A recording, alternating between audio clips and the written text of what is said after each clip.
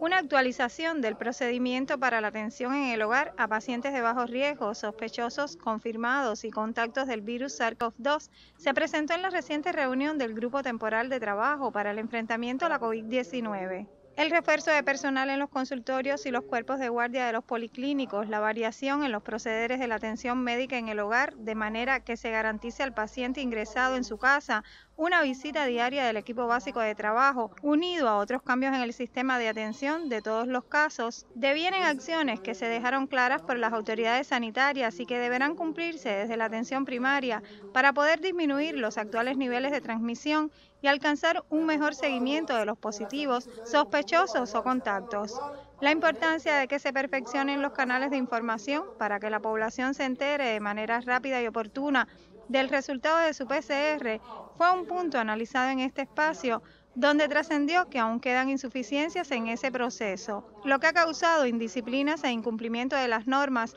por parte de quienes a veces esperan demasiado por los resultados del PCR. Se explicó además que la isla continúa con una transmisión elevada, pues en la pasada semana se detectaron más de 900 casos positivos. De igual manera, el director de salud, Israel Velázquez, confirmó que ya en este territorio circulan la cepa Omicron y Delta, por lo que persiste un elevado riesgo de transmisión. En tanto, las autoridades gubernamentales anunciaron nuevas medidas de restricción necesarias ante este escenario epidemiológico, las cuales se darán a conocer más adelante en este noticiario. Taimi Barzaga, Isla Visión.